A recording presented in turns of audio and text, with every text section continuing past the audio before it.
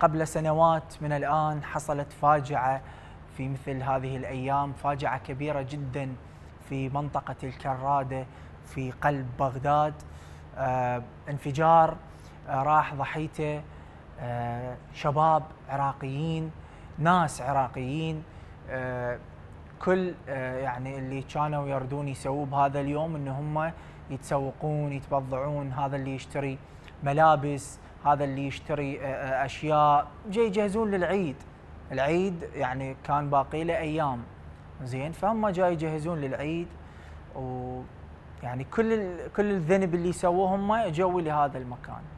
فحصلت الفاجعة الأليمة. تمر علينا هذه الأيام الذكرى ذكرى الفاجعة اللي راح ضحيتها المئات من العراقيين. يستذكر العراقيون اليوم الذكرى السنوية الثامنة لفاجعة الكرادة التي أدت إلى استشهاد 292 شخص وجرح 200 آخرين يعني 492 شخص. ما يقارب 500 إنسان تأذى في هذه الفاجعة باليوم اللي حصلت به. الله يرحم كل الشهداء اللي توفوا. ويعني الله يشافي كل الناس اللي يعني نجوا من هذا الحادث.